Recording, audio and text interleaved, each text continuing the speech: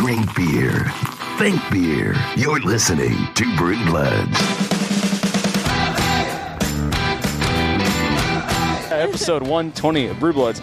We are at BrainDead Brewing today. Already 120 too. I already 120, I know. And Congrats. we're through 120 episodes, and Mark still doesn't realize when he has the headphones on, he talks super quiet. Yeah. Oh, go to hell. I was like, I can't hear him. yeah, I'm sorry. I'm sorry. I tend to get Yeah. NPR voice when I have the You do. headphones on because it sounds like- really loud to me. Like, This is "Hello." episode 120. It's episode 120 of, of Brew Bloods. Thank you very And much. anyways, we're at BrainDead Brewing today for We're out by the. the street. We need you to talk loud. I'm sorry for the Women of Craft Beer Panel 2017. Uh, they've done this. I don't know how many years now. This is their third year. Third year. No. And by the way, Way Jennifer's research. here. Yeah, hey, Uh, Jennifer the Bearded Lady, and appropriately so, since we're here for the Women of Crap Beer panel, we should announce that Jennifer is part of Brew Bloods now. She is now Whenever a, she's a, a Brew Blood. she'll. I don't know. She's at least a part timer minimum. She's a she's a cell in the Brew Blood. Yeah.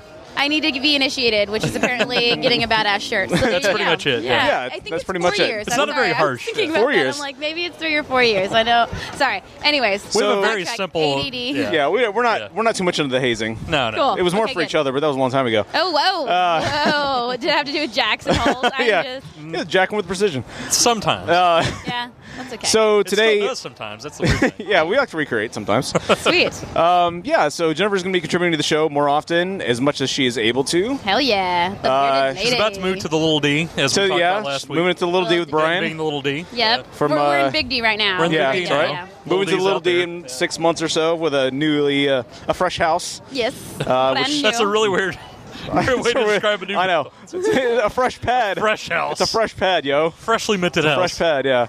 Which uh, Dustin will probably vomit again too in the toilet at some point in the future when he we gets should way too definitely drunk. do a Brew Bloods uh, podcast in my house. Not- that works for me, absolutely. I have Get not been to some- Denton since college days, so Get Wow. some of the whales out, maybe Yeah, from the yeah. Yeah. closet. Yeah, okay. yeah, sounds go. like sounds like a plan to me. Yeah, you're like hell yeah. there may not be podcast going on, but No, we're no, gonna drink it. we we've done that drunk before, and that is not very comprehensible. No, No, it's, it's- fun for us, but It's not fun for anybody us, else. So this is the uh, like I said, the North Texas Beer Week, BrainDead Brewing, Craft Beer, Women of Craft Beer, 2017, and I think there were 18. There are 18 ladies here from various breweries, Yeah. right? Eight, 17, 18 ladies, something like that. There's quite a bit, like at least uh, 12 to like 16, I think. I'm embarrassed was to say I didn't count, but I there are think over 10 right. and under 100 ladies Yes. from various breweries I want to across. say 18's too many, but Across there's the a lot. region, actually. We Yeah. got some people from Texas, and we got some people from Louisiana Yep. and Louisiana. Odell, which is in the region. Yep. Uh, yeah, so we're going to hear from them. This first part is going to be the intros to everybody who's participating in the panel, and then the second part will be the Q and A. Uh, this thing, I guess, is probably going to go almost two hours, so we'll we'll see. We'll split it up in two episodes. so yeah. so here it is, the 27 Women of Craft Beer panel for North Texas Beer Week at BrainDead Brewing Company. Boom, go women.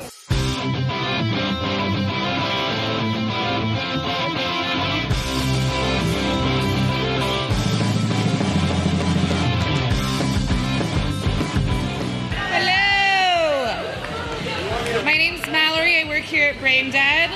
Welcome to North Texas uh, Cra- Women in Craft Beer. Um, we host this every year. This is our third year, and we're all really excited. We've doubled in size since last year on our panel, so that means that we're, uh, we're effectively taking over the world, as Nellie would say. Uh, this is Nellie. Um, pretty much, uh, we're going to be giving a rundown. Um, every lady's going to be talking for a few minutes, talking about their history, the beer they brought.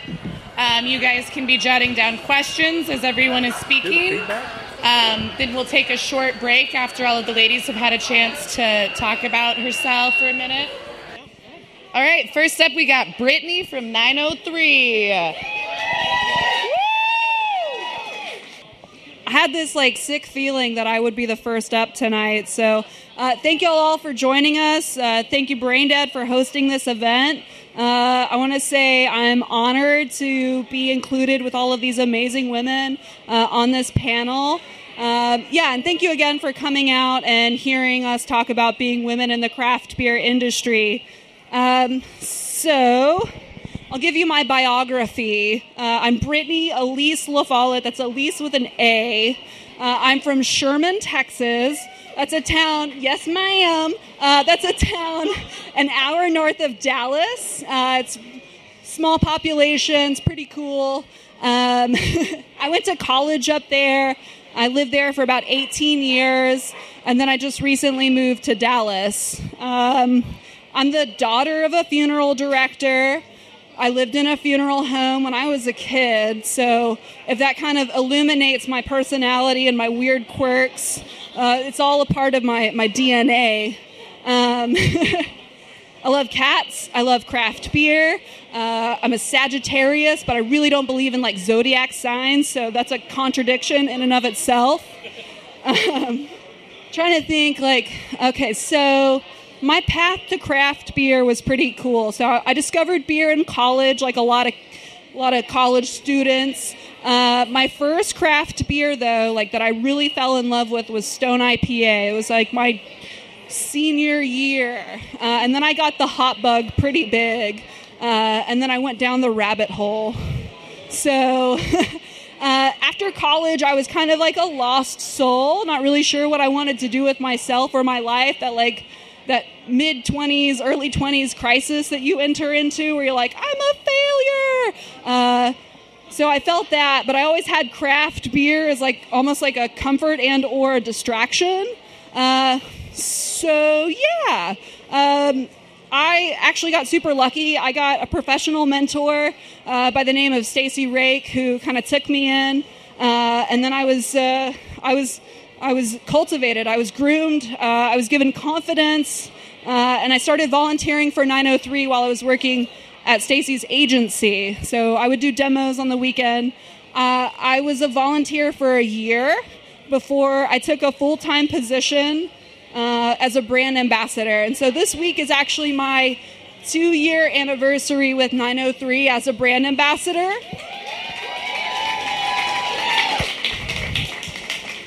And honestly, in the three years that I've been working for 903 and have been involved in the industry, uh, I've seen so many more women come out, participate in festivals, uh, get excited about craft beer.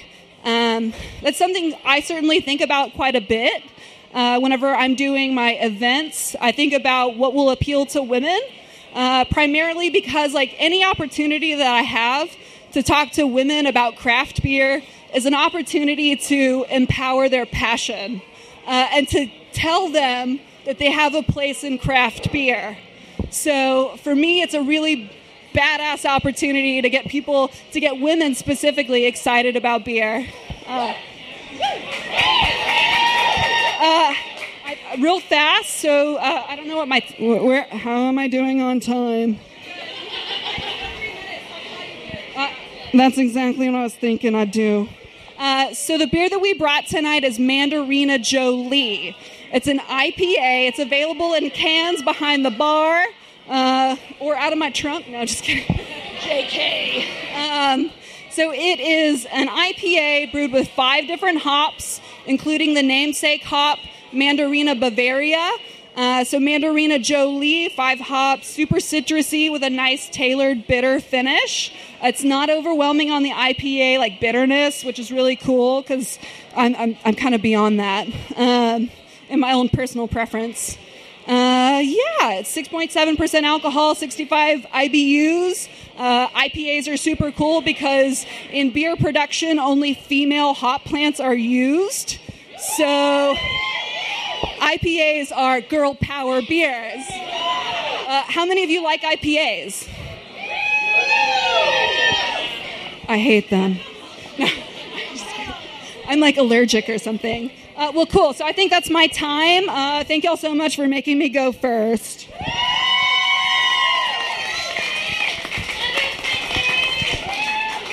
Drop it. People like it when you do that. All right, next up we got Maura from AleSmith.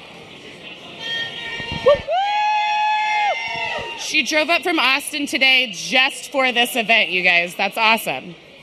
All right.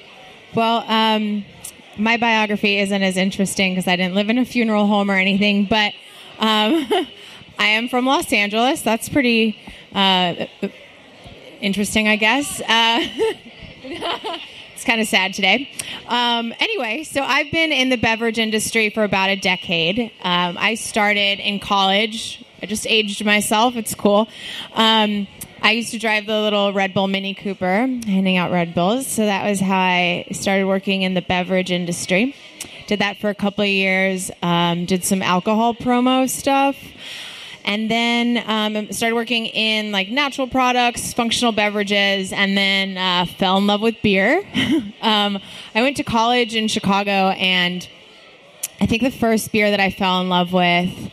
Oh, that's the okay. Well, there's. I'll just give you categories. Okay, so like, I remember I found Tripel Karmeliet, and I was like so in love.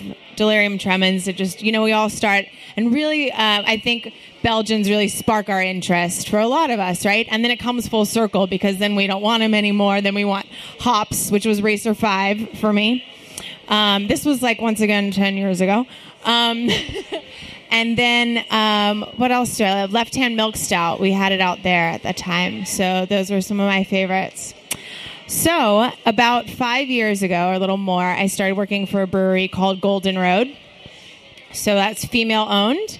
Uh, I worked for them for three and a half years, and I launched most of the California market. So, I left Los Angeles, where I was born and raised, and had returned after college, and then moved back to Northern California. So, I sold Golden Road in um, LA and Santa Barbara and San Diego and Sacramento and Tahoe. It took me to a bunch of different places, as beer will. I tell you, it'll take you everywhere you want to go.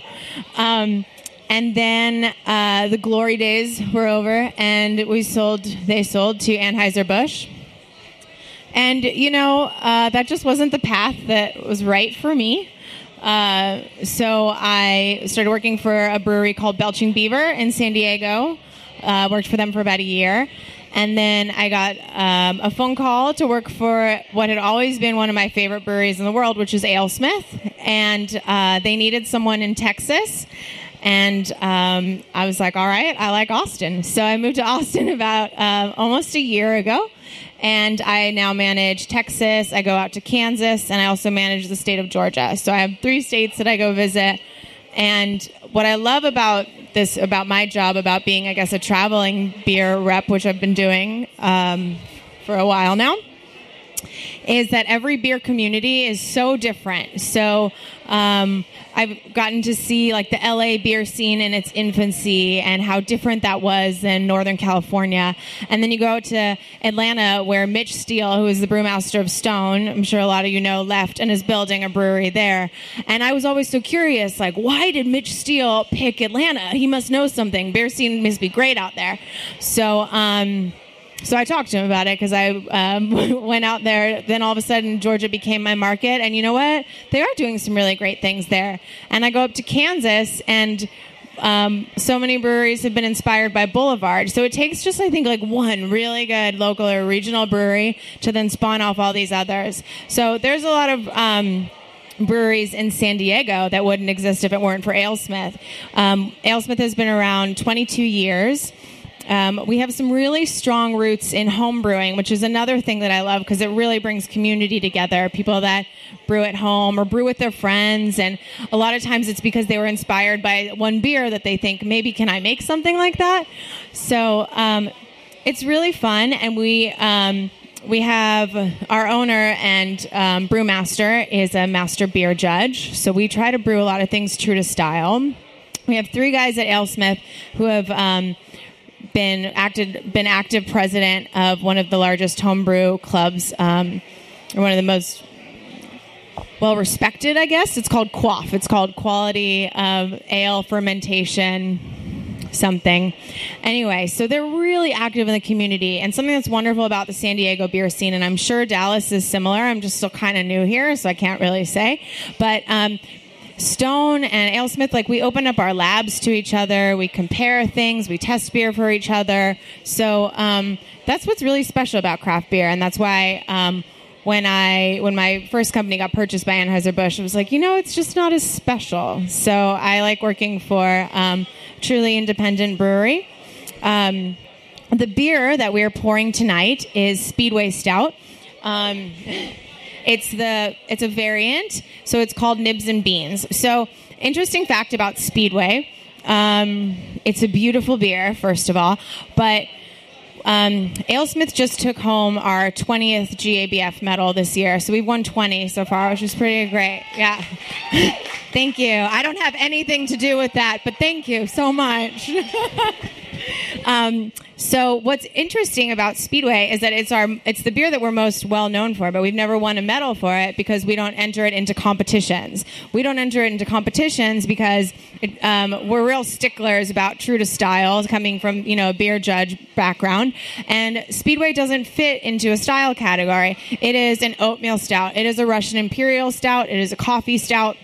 So we just don't fi- feel that it really fits um, something that would win an award for being representative of a style. So it always gets voted one of the best beers in the world, but it doesn't win any awards because we don't put it out there too. We just kind of put it out there to have fun and play with it. So we have this event every year called Speedway Grand Prix. Um, it's uh, where we do dozens of different variants of Speedway, and they're all really interesting, like Waffle Speedway or Hatch Chili Speedway. Um, really creative things that we come up with. And so people kind of vote for what they love and then it goes into um, maybe going maybe we consider it for large production which is what happened with nibs and beans. It is um, it was a fan favorite at one of our speedway grand prix. It is made with cacao nibs and vanilla beans. It is very decadent and delicious. Um, let me give you another fun fact about speedway because i just love this beer so much. It's so complex. Um, it's actually got 80 IBUs in it. So there's a ton of hops in there to make it real bitter, even though the coffee makes it super roasty already. I wouldn't even call it bitter. Um, but there's a lot of hops in there. Uh, there's a ton of oats, a, a, lovely amount of chocolate malt, and then with the addition of the cacao nibs, it makes it a little bit more of a dessert variant of Speedway. Because original Speedway is just real roasty and not sweet. It's actually a really great breakfast beer, I think. So enjoy this variant. It's very rare. Bottles don't make it out of the brewery, and only a few kegs leave San Diego. So I really hope that you get to try some tonight. And thanks for listening to me talk so much. All right, guys. Next, we have April, who I believe loves to be called Ape, from Austin Eastciders. Hey guys, thanks so much for being here. I will tell you, I'm not a good public speaker, so Brittany and Maura already like way did more than I'm ever gonna think about doing. Okay, hi. Is that better?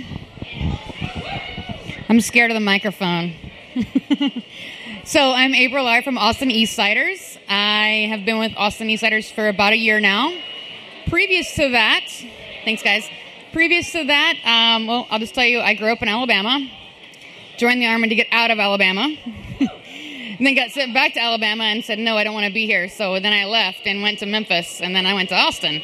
When I moved to Austin, I started homebrewing in 2001. Um, I thought I wanted to be a nurse, so I went to nursing school and started volunteering, or sorry, not volunteering, working at a place called Whip-In in Austin. Uh, really cool place. Uh, once the owner found out that I homebrew, he immediately wanted me to start a brewery there. So, as a co founder of Namaste Brewing, which then turned into Kamala Brewing, um, we won a GABF our first year, even being there. It was my recipe. It was a really cool ESB with um, Earl Grey tea. So, better and better you'd think would be not very good, but it was actually awesome. Uh, I left Austin about five years ago and moved to Dallas, and I really wanted to continue brewing, but unfortunately, no one was hiring at the time, so I started working for Whole Foods. I was a beer buyer there for about four and a half years. I'm gonna, I'm gonna keep looking at you. yes, Greta also worked at the store that I was from as well. So spent about four and a half years at Whole Foods, and uh, just being the beer buyer and learning all the cool places. A lot of people here, yeah, actually, Marla, yeah. Chanel, now Abita, everybody. Oh, everybody's here. Hi. so, I guess what I'm getting at was I never thought that I, coming from like loving beer and brewing my own since for a long time, never, ever, ever thought I'd work for a cidery. I didn't even like cider. When I first got offered the job a few years ago, I said, I don't like cider, no. And then a year or two passed, and I was like, well, I'm maxed out here at Whole Foods, so I guess I should learn something. So I tried some ciders from Austin Eastciders, and I was like, damn, this is some good shit. I actually like it. It's not sugary sweet. Then I learned more about it, and I learned that there's difference in apples and how you make cider, and that most United States cideries use dessert eating apples. Those are sweet, and you ferment them, and then they're really sweet, and you don't want to eat it or drink it or anything. But we use actual cider apples. We get our apples from Europe. Um, people wonder why we do that, and it's because during Prohibition, everybody made cider at home. And the government said, oh no, you can't do that. We're going to chop down all the cider trees. So we have to outsource to Europe to get our apples, which makes our cider nice and dry and drinkable and palatable that everybody can enjoy. So they changed my mind. I agreed to work for them. Now I work for a cidery, but I'm still a beer girl at heart. Um, and today we have the original dry on draft, and we also have the blood orange that came out this year in May. So we, like I said, we get our apples from Europe. We also, for this blood orange cider, we cold press the blood oranges, so you get the peel, you get the juice, you get everything in the blood orange in the cider. They're both 5% alcohol, and they're all made in Austin. And that's all I got. Thanks.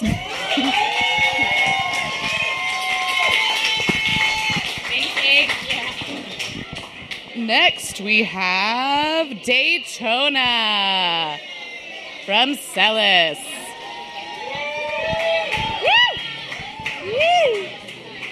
All right. Woo, woo. Is this better? Can you guys hear me?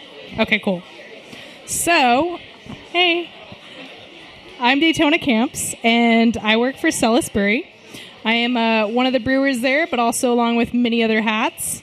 I uh, so what we have on tap right now is our Celis Grand Cru. Um, it's a Belgian triple, and it's actually one of the originals that we brewed in uh, 1967. And so we uh, careful though. It's it's 8.6. I'm telling you, after two, you you can't drive. And so um, I'll give a brief history on uh, on Celis Brewery. And so Pierre Celis is the one that started the or revived the wit style beers. So um, in 1957, his next door neighbor Tomsin had the last brewery uh, who made the wit style beer, and uh, and so he was an older gentleman, and Pierre Celis was about you know 17 at the time, so he would help out you know manual work, lifting, and all that jazz. And so throughout the years, he learned how to brew the wit style beer. And so uh, when Tomsin wanted to retire and shut down the brewery, um, you know, that was the last brewery in, in Belgium, uh, Hoegaarden in Belgium, that had the, that style of beer. And so everyone was very upset. You know, you take away your special kind of beer, that wit beer, of course you're going to be, you know, pretty pissed off. So everyone kept coming to him and saying, You know how to brew the wit beer. Come on, please, please brew it. And so he was like, Well, actually, I found some bottles left over, so let's go have a little tasting. And so him and his friends, they would drink all those beers, and they're like, See, after eight years, it's still really good. And so he turned to them and he was like, Well, actually, I, I made these. And uh, so all his friends were pretty upset. They're like, You just lied to us. How? Why would you do that? And of, of course, I had to lie because you know if it was if it sucked, you still would have said it's good. And so after that, that's when he knew he had a he had something good. So he converted his uh, his milk stable into a brewery um, in 1960s, and he started brewing the the wit beer in his backyard. And could, maxed out demand, and so um, he bought an abandoned lemonade factory and call that De, uh, De Kluis, which De Kluis means um, it's a, a area in Belgium where young people would hang out and have a lot of fun.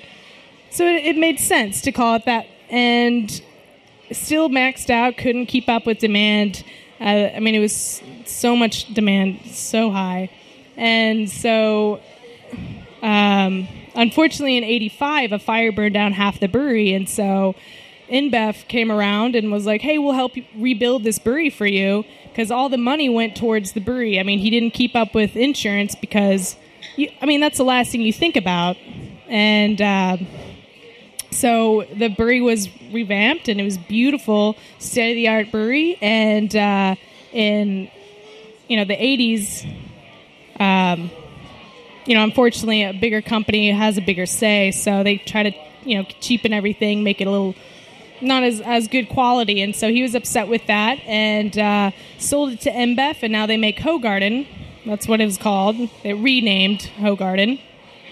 And uh, he turned around and, and told his daughter Christine, he was like, "Hey, let's open up a brewery in Austin." And she said, "Hell yeah, let's do it." And uh, so in '90 they bought land, and then '91 construction, and '92 Celis Brewery was open, and we were the first craft brewery in Texas. And uh, uh, woo, woo, and uh, and so. I mean, again, maxed out of demand. I mean, that people there was still a lot of education involved because people come around. They're like, "Hey, Mr. Pierre, your your beer is cloudy. That's not right." And so he was like, "Well, no, that's on purpose because the protein and da da da da da." da." And um, it was a fun experience. And of course, you know, nowadays it's a whole lot. A lot has changed, and so in 95 we partnered up with Miller because of course you're going to trust a guy in a cowboy hat saying oh we'll help you know expand your distribution. And uh, so it sounded good at the time so so we partnered up with Miller. And then same thing happened as InBev. They tried to cheapen everything. And so we sold it to them in 2000 and a year later they shut it down. So for over 17 years we've been trying to get the brewery back up running. And so now as of June we're officially open in Austin. and uh, so we got a brand new, you know, beautiful location. It's on Metric and Rutland. Uh, you guys have to come check it out because we have the, you know, state of the art equipment just to make sure everything is as consistent and and you know as similar as it was back in the day, but also we brought back all of my grandfather's old equipment, you know, copper kettles and an open mash tun and giant foeders, you know, giant, giant barrels. Uh, and we want to have that as a working museum, and we want people to come in and, and brew with us like they did in the back back in the old days. And so that's that project's about a year out, but we'll have a you know a beer garden outside and a lot of stuff. So you guys have to come check it out. And I, I hope you guys enjoy our beer. But seriously, be careful. It's it's high ABV. True story. Hoegaarden was what got me into craft beer. That was the first beer I ever tasted that I enjoyed.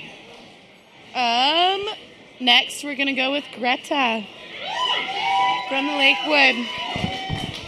Thank you. Hello, everybody. Hello. Um, I have to give you a fair warning, real quick. I literally walked off of a plane at 2:30 this afternoon. I came in from New Orleans. I was there for Halloween. I'm almost here. I'm working on it. Uh, while we were there, though, I want to tell you, I drank. We drank a ton of Great Raft while we were there. So awesome! Thank you for making fantastic beer. Um, so I am Greta Leverett. Uh, I have officially been in this industry for four years now. It'll be four years in November. Um, I want to take it back a little bit though. Uh, I was originally in sales. I was selling uh, gaming and computer peripherals for uh, companies that you might know, like Logitech and SanDisk and ATI. And if it goes in a computer, I've sold it. In uh, about 2010, the industry kind of wasn't doing real hot. Uh, and I had a friend that worked at Whole Foods, and she was like, "Hey, you look like you need a job. And I was like, yeah, I could use a job. So she hired me, and I started working at Whole Foods. I was a, at first a cashier, and I always kind of peered my head over to where the beer and wine was. And I was like, what's going on over there? And uh, about six months into it, they figured out that I was interested, and they brought me on, and I became don't tell anybody. I was the wine buyer. Uh, I actually worked in the wine department, but I was the backup beer. I helped a lot in the beer department because I was so fascinated because I really do feel that beer and wine, and please don't boo me off the stage, but I think beer and wine are the same thing in a lot of ways. They are liquids that are fermented to taste like something else. You take something natural and wonderful and you ferment it and you get these beautiful flavors. And there's actually a lot of similarities between beers and wine. Things that are faults in wine, we actually want in beers. Like we want that nice sour note for those uh, that Brettanomyces gives us. You get that in wine, they're like, that's bad. Uh, so I, uh, I actually worked there. I was uh, there for three-ish years, almost four, and um, I got my level two sommelier. So, uh, so I drank a lot. That's what that means. I drink a lot. Uh, and about about a year before I left, maybe a year and a half, I started meeting these people that were coming in, um, and they were doing some shopping with their family, and uh, got to chatting and they saw that I was real excited about the beer and I was like, hey man, we just got 120 in. Like I got some in the back. You want some? I saved it for you. Like, you know how that goes because all of us have had that. We've all gone into stores going, hey man, you got that good stuff. Uh, so I befriended these guys and uh, one day they brought in a growler. They'd been brewing in their, their garage. Um, they brought a growler in and they were like, hey, we know you got a pretty good palate. We want you to taste something. And I said, is there alcohol in it? I'm in. Uh, so they poured a little bit in a glass, and we, we kind of sat at the bar at Whole Foods. If you've been to Lakewood Whole Foods, I love that bar. um, I still frequent it pretty regularly. Um, but we sat down, got some glasses, got some tasters, and this beautiful, like opaque, dark liquid came out. And there was this gorgeous caramel head, and it was just, God, it was beautiful. And I smelled it, and I was like, ooh, that's coffee and caramel and chocolate, and oh, that smells so good what is this? They're like, just try it. Tell us what you think. So I took a swig and I was just like, guys, what is this? I want to, what, tell me, I want to drink a lot of this. And they said, well, we're thinking about opening a brewery. We're thinking about calling this beer Temptress. right. Uh, and I kind of went, okay, guys, so I know you only know me as a Whole Foods employee, but I have 12 years of sales experience.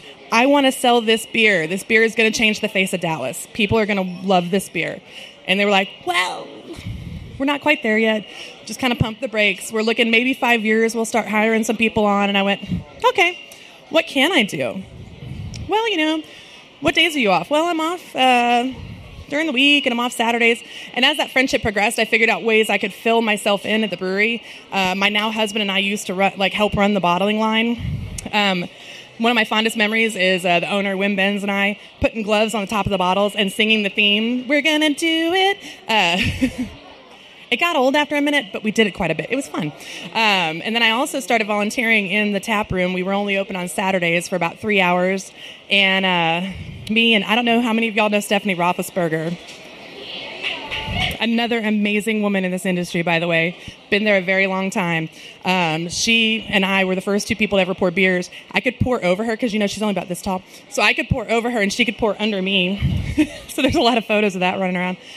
And I started working there on the weekends. I mean, every every spare moment I had, I was like, "What can I do to help?" And about a year in, they said, "Hey, uh, you sure you want to come work for us?" And I was like, "Yeah, I'm interested." So um, myself and they claim it's around 100 people submitted resumes. I honestly don't know the number. Um, they made me go through the same process everybody else had. They knew me, they knew what I did, um, and I still went second, third interviews. And at the end of the third interview, like, well, we need another two weeks. And I'm sitting there going, come on, guys, like friends. and uh, as I was driving home, they called me. They were like, hey, uh, so do you really want to work for us? And I was like, yeah, I can't imagine being anywhere else right now. Like this is this feels like home, and it has. And they said, well, we'd like to offer you a job. And I went, are you me? Oh. I shouldn't say that's my new bosses, huh? And they were like, "We know you. You're fine. We're not shitting you. Yes, we'd like to hire you." So uh, I started working at the end of November in uh, 2013, and we had only been open since 2012. So it's been a wow. Started out as a sales rep. That's a hard life, guys. Like these these ladies and everybody in this industry, these people that are feet on the street, you don't realize how much they work. Everybody thinks, oh, this is really cool. You get to go and have beers and have fun. Um, I was putting in like 70 to 80 hours a week. My, uh, my husband almost divorced me over it at one point. He was like, hey, I don't know what you look like anymore. And I went, oh, everybody in the beer industry does, though. It's not good. you can see me on Facebook. I check in. Um, so but feet on the street, man, that's a it's an amazing job doing demos over the weekends. You know, one day a week off, you're super excited, um, especially as a startup brewery. And we've got we've got some other startups that have we've come from the ground. You know, and we've really we've really done some amazing progress. And some of the people that have been laying the groundwork. I mean, like Celis is an amazing example of that too. Like there's a lot of breweries here that have been here for a long time and they're the ones that laid the groundwork for us to even thrive so it's pretty awesome to see like the, the footsteps that we're all following in um, so I started out as a sales rep, and then I got, see, I got promoted to sales manager. They put me in charge of stuff, guys. Like, is that nervous? I'm nerve wracking about it. Uh, and I've been doing that for about a year and a half now. And then I started working all over North Texas. We are still not fully across Texas. We're just, uh, we're all over the north. We're in Austin, Corpus, and uh, Bryan College Station, and that is literally it. And we're just nice and slowly growing. We enjoy it. It's a nice pace to be at. Um, I'm going to tell you a little bit about the beer we have tonight. So we brought. All right. So who knows Temptress? I love it. You guys that didn't raise your hands, I'm going to find you. Uh, so that's our Imperial Milk Stout. Uh, like I said, that beer changed my life. The first taste of that beer on a growler, I was just like, this is where I, this is what I want to do for the rest of my life. Um, so we took Temptress, made these really cool variants. You might have seen some of them like raspberry, French Quarter, cinnamon. Uh, we also do a little thing called bourbon barrel Temptress. I don't know if anybody's heard of it. I hear it's a drain pour. Uh, no, I'm just kidding. I'm kidding. if anybody stood in line for that beer, you know it's not. um, we also make a beer called Mole Temptress. Now, Mole Temptress is, uh, let's see. So it's a Temptress. It has four different Mexican chilies in it. It's Oaxaca, Chipotle, and Ancho. Uh, and then it also has cinnamon and cacao nibs. Um, we were using we were teamed up a little bit with Dude Sweet when we were initially doing the cacao nibs. I don't know if we're doing that now, but we always try to reach out to local people for that. Um, but then, not only did we make this amazing beer with this beautiful warming spiciness that has some chocolate and cinnamon, and it's just oh, it's good. We thought let's get crazy with the cheese whiz. Why don't we take all of these variants and put them in different barrels and barrel age them? So this is a bourbon barrel aged Mole Temptress. Um, it comes in at a just a nice, pleasant 13%. Uh, some of the professionals can do more than two. I don't recommend it. Uh, but I do hope you guys get a chance to try it. We released this a little while ago. These guys were nice enough to hold on to some, so it's actually not even currently in the market. It is keg only. We do not have bottles of it. So I encourage you to try it if you haven't yet. Um, like I said, it's it's one of the most. I think it's one of the most dynamic, and it has just so many things going on with it. So uh, I hope you guys get to try it. Thanks very much for letting me stand here and talk this much. Thanks, guys.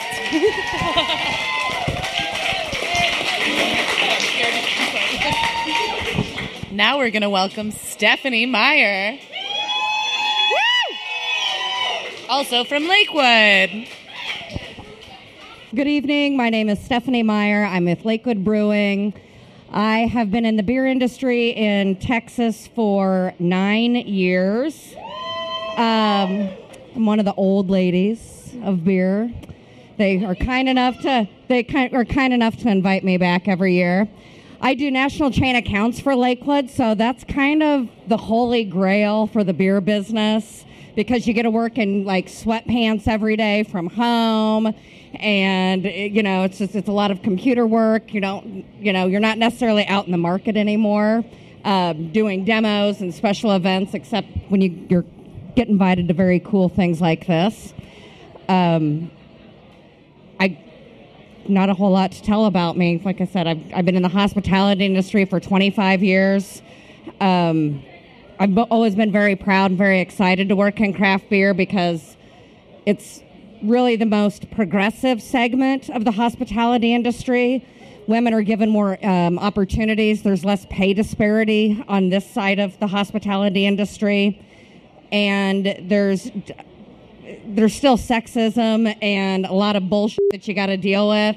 But in the the craft beer segment of it, it's less than any other segment of the hospitality industry. So I'm just really proud to stand next to these ladies and go out every day and fight and. Uh, do great things for beer and for ladies. Thank you, Stephanie. Uh, next, we got Aubrie Willis from Noble Rey. Hello, hello. I'm Aubrie Wills. I uh, I work for Noble Rey Brewing Company. Um, yeah, uh, I appreciate you guys so much, uh, BrainDead, for having me out tonight. This is a super awesome thing to uh, be able to get up and speak with uh, some of the females that have been uh, my role models in the industry since before I was able to be in it. Greta, hats off to you. Look up to you so much. And uh, so I'm really honored to be here. Uh, but yeah, uh, my roundabout way in the beer industry was uh, super fun. Um, I bartended for several years, bartended at craft beer bars, and really fell in love with craft beer. I would say my gateway beer was Left Hand Milk Stout. That was uh, that was the gateway there. Um, and then I went into sales. I did advertising sales for the Dallas Observer. That was super fun.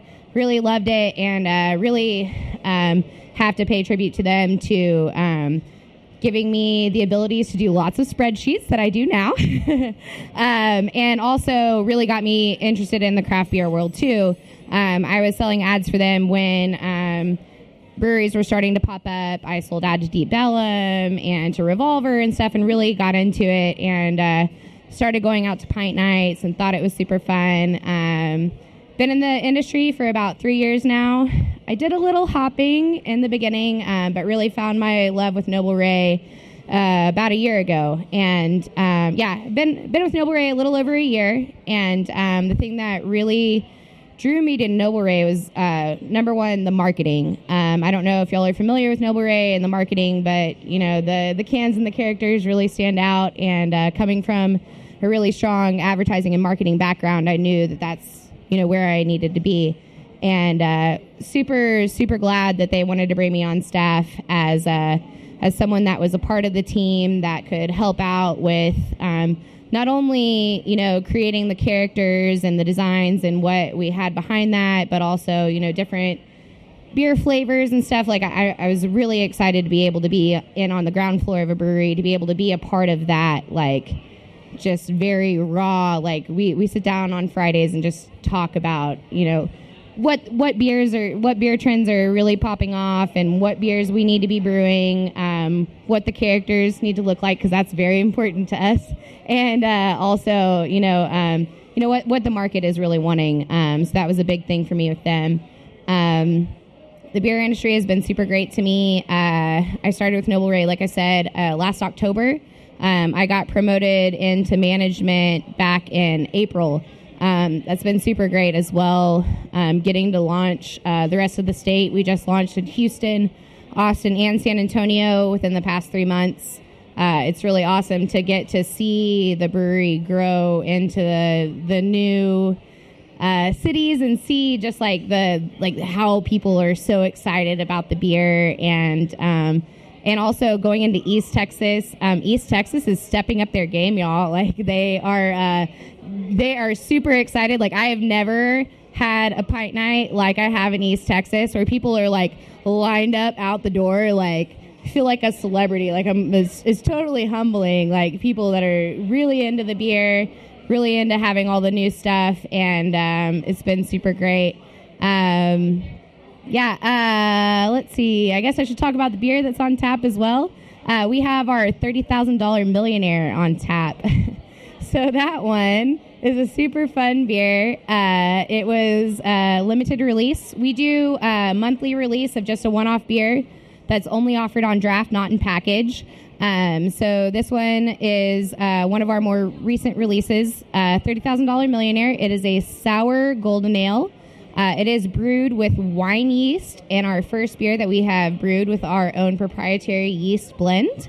Um, and uh, if you guys have the stickers in front of you, you can see it's the Super Bro Dude. It's a it's a fun beer, and I hope you guys can try it tonight. If you're into sours, it's perfect. Um, if if you're like kind of debating the sours, it's a very good like easy gateway. It's not overly tart. Um, it's a it's a great introductory sour as well. So appreciate you guys for coming out. Thank you. All right. Next, we got a duo. Caitlyn and Katie from Odell have uh, they brought props. They brought a presentation. Well, how to guess? My name is Caitlyn Carlton. I'm your friendly local Odell Brewing rep. Uh, first of all, Odell Brewing is out of Fort Collins, Colorado, and we've been around since 1989. And we've been in Texas for about three and a half years. And I, because it was North Texas Beer Week, had the pleasure of bringing down Miss Katie, who actually teaches us while we're at the brewery all of our beer classes. She is in charge of making sure that we know what we are talking about. So we thought it would be super awesome to bring out Miss Katie and teach y'all about Rupture, our our brand new fresh grind ale. first of its kind, so we believe. And uh, here is Miss Katie to talk a little bit about the beer. Hey guys, we brought you some show and tell back to kindergarten. So we're gonna pass out some things, and uh, I'm gonna start with you, sir. I would like you to tell me how fresh is that coffee?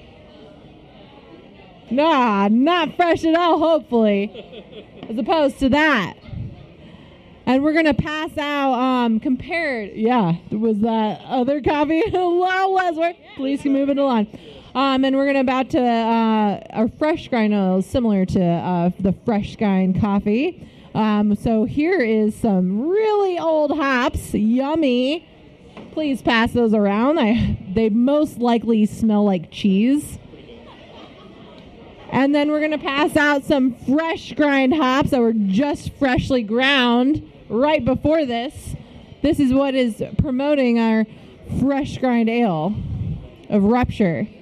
We are hop freaks, guys, at Odell, and we are all about rupturing those lupulin glands, releasing those essential oils. But what matters is that we are actually we are so crazy about it that we have made brought our own rup, our own facility of rupturing our own hops and then using them right away in our fresh grind ale. So Rupture comes in at about 6% in alcohol, and you get all of that super fresh, aromatic dankiness. But then when you drink it, it only comes in at about 35, 36 IBUs, which on the international bitterness scale is actually very, very palatable. So you get all of that super dank, and then it's not super bitter. In the world of hoppier beers and IPAs, we wanted to be innovative and give the world something a little bit different. So today is actually my two year anniversary of living in Dallas. Woo! I actually went to school at uh, a Texas A&M and worked at a craft beer bar on Northgate.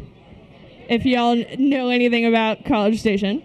Uh, and then I had the really awesome opportunity to work for a small independent distributor. I got hired to teach everyone at the distributor about craft beer. It was a small AB wholesaler that had never had any kind of craft beer before. Absolutely. So I worked for those guys for about three years and then decided it was time for me to get the hell out of College Station. And me working for Odell was just kind of one of those right time kind of moments. I had ran into our South Texas rep, who is one of my favorite people in the entire world. Started complaining about how I was sick and tired of how AB was treating everybody, and it was time for me to get the hell out of College Station. And she looks at me and she was like, Do you think you would move to Dallas? And I was like, I totally would. So push come to shove, a couple year, a couple weeks later, I ended up in Dallas working for one of the, the best damn breweries that I've ever seen. well, thanks guys, and this is Miss Katie to tell you about her journey. And I've been there for a while, and we couldn't be happier with Miss Caitlyn. Um, there's not. There's about. Uh, we were counting earlier today. Is it like about 10, 12 women at Odell out of 135.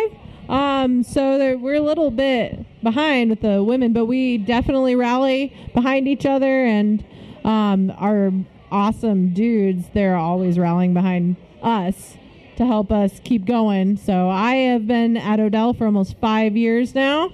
It's a lab tech, one of three. Um, we I uh, help out with doing quality control, um, but I also get to play around with R and D, doing some pilot brews and stuff like that. And uh, Odell has just been a great opportunity for us to really promote some really innovative beers and delicious really. So this is my first night in Dallas, and it has been awesome, guys. Thank you for the hospitality. And cheers. Cheers, guys. Thanks for listening to us talk about some beer. Thank you, guys. Mm-hmm. Next, we got Georgina. Before you guys make any assumptions, I'm not drunk. I have a broken ankle. So, I know, I know. I am very flexible. I know. Yeah, it was not because of that. I kicked a bear in the face in Colorado and this happened. Ah, working on it. Okay. Okay, that's a lie. I don't know how to walk. I fell hiking. Um, this is all right. Good? Okay.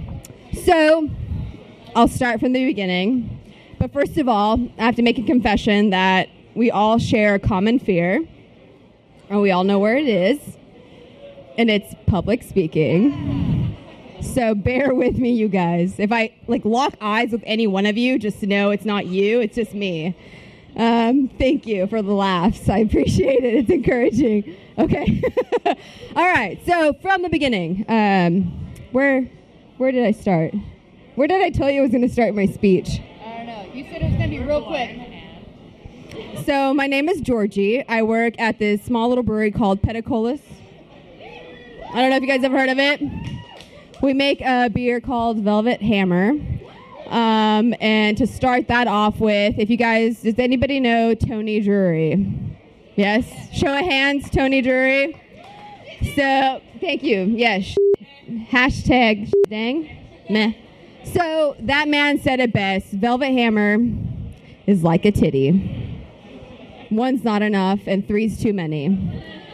And it is true. Okay, so me, back to me, because it's all about me right now. So, uh, Wintervention is the beer that we have here, and it's somewhere, and I've already, I'm on two. Thank you. As you can tell, I'm on two. This is three. Uh, this is a lovely beer. If you've had it before, then you know what I mean. It's 10%.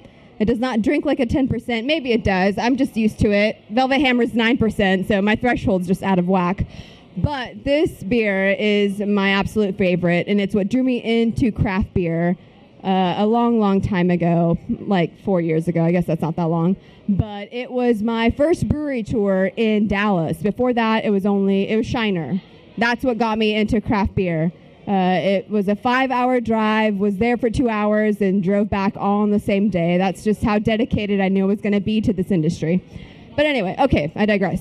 So, Peticolas, a very good friend of mine, one of my best friends, she was just like, Georgie, let's go check out this brewery. And I'm like, okay, cool, let's go be hipster. This sounds awesome.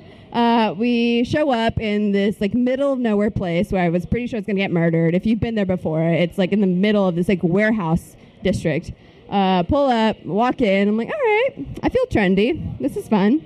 Tasted a couple of beers. Don't know anything about it. So this guy at the back of the room is like, hey, do you have Wintervention on? And I'm like, I don't know what that is. And Michael Peticolas was like, Yeah, we have it on. And this guy made a beeline towards wherever Wintervention was. I was like, All right, I guess I need to try this beer.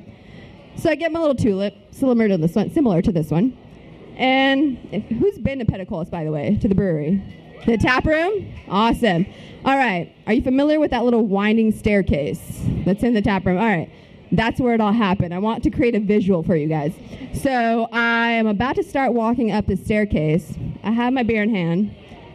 I take a sip. I don't even I don't even smell it because I didn't know what I was doing then. So I take a sip, and the first sip I was like, "Oh, f- what is this? what is this that I'm drinking?" I was used to to Natty Light and Keystone in college. It's like, what the hell is this beer? And I just sat there and I had this like out of body experience. It's like this beer can taste like this? And from then on i was just i was hooked. And yeah that must have been four or five years ago. Um, and so you know i went on with my life. I continued adulting. Megan jump i see you back there. Hi pretty lady. Oh not me? Thanks rude. Uh, anyway so i started volunteering at Peticolas about like two and a half years ago because a friend of mine told me that was a thing. If guys you're interested in volunteering, email a brewery. They might let you come on. It's a lot of fun. Um, and I just did it, yeah, to hang out. And so my first day in, uh, one of the brewers was like, "Yeah, you can come volunteer if you like music and cleaning things." And I was like, "Okay, all right, that's cool. Let's do it." Show up in like jeans and like not waterproof boots, by the way, which they should have told you. Um, and I'm in there scrubbing tanks, cleaning, and they're playing music like they said, so meeting all the expectations. And then it's I think like 10:30 in the morning, and uh, head brewer uh, Chris is like, "All right, dock beer." Like dock beer? It's 10:30 in the morning. what does that mean? Uh, we, you know, we just threw in first hops. We've got about 30 minutes to like smash in. We're gonna go have a dock beer. Like I still don't understand what you're talking about. So grab a glass, go to the bar, grab a beer. We'll go to the dock. And you not, it was a dock beer. All the brewers kind of stop what they're doing. You find a, a moment you can pause anything you're doing, and we go and have a beer on the dock and just talk and hang out in the middle of the workday. I was like, what the fuck have I been doing with my life? like, this is where I need to be.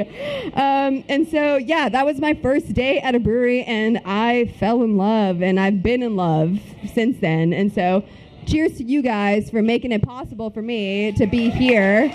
Um, I love it. I love this beer. This was my first year helping uh, to brew Wintervention, which is the best beer in the entire world, in my opinion, but I have not had all, so disclaimer. But yeah, so did I miss anything? I'm a Libra and I love green. I don't know. what else? Awesome. Cheers. Uh, All right, we got last but not least, we have Lindsay Nations, co founder of Great Rafts. Woo! Welcome. Thank you. All right. Bringing up the rear. I'm going to try and keep this short and sweet. My name is Lindsay Nations. I am uh, the co founder and vice president of Great Raft Brewing. We are a brewery in Shreveport, Louisiana. Has ever anybody ever been to Shreveport? Oh, awesome. And you came to the anniversary party. That was awesome. Um, so, we are the first brewery in Shreveport since Prohibition. So Shreveport actually went dry nine years before Prohibition. We got a head start on everybody else. And um, my husband and I, we are from Shreveport, grew up here, and wanted to bring a brewery back to our hometown. So we, after college, and we lived in D.C. for a, for a while, we fell in love with beer there. And whenever we came back to Shreveport to see our families and visit we would like have to ship ourselves beer to get through a week at home. Yeah, Christmas break, it's like you have to ship yourself a box of beer to make it through the week with the family. So we we realized like, oh my God, this community needs craft beer. So we said, hey, let's start a craft brewery in our hometown, and that's what we did. And uh, we just celebrated our four year anniversary. Um, and I'll just tell you a little bit about what Great Raft is about and the type of beers that we brew, and then the one beer or the there's actually four beers available from Great Raft tonight at the bar. So I'd love to tell you about those beers. Um, but we we started the brewery to give our community something to be proud of. We wanted to give the people of Shreveport beer that they could say, hey, like, I am super excited that this beer is made where I am from. And we have a lineup of flagship beers that is really approachable, um, really sessionable. And that's one of the beers I'm drinking right now, Commotion. Uh, but the beer I want to tell you about right now is Oceans Between Us. It's our it's part of our Belgian program. Oh, right here. Yeah. Alex is drinking it. Um, so, so this is a beer. So we started beers, like I said, um, all of our flagship beers are really approachable and easy to drink. Um, but our Belgian program, it, this this beer right here, Oceans Between Us, is a 100% Brettanomyces IPA. Is anybody familiar with Brett Brettanomyces? Okay, so it's kind of funky, kind of dries the beer out a little bit. Um, this beer, every time we brew it, it changes. Um, so this is the, the beer that's available tonight is batch four. Uh, it's it's made with Nelson hops. Um, really dry. This beer is a couple of months old now, so it's the the hops have faded and the Brett is really shining through. So I hope that you like it. Um, we're really excited to be here and celebrating North Texas Craft Beer Week with all of you. Um, sometimes Shreveport, I feel like, is part of the North Texas community because we are so close. I mean, we are closer to you guys than we are to New Orleans. So appreciate you guys embracing us and celebrating our beer. We've been selling beer in Texas now for in, in the Dallas area for about five months. So uh, thank you so much for your support and uh, look forward to sharing a beer with you guys later today. All right, guys, now we're going to go on about a 10 to 15 minute intermission. So, any questions that you guys have, jot them down, pass them to the end of your table. Then, when we come back, I will go through and uh, uh, ask only the really, really good ones. No, I'm kidding. I'll ask most of it.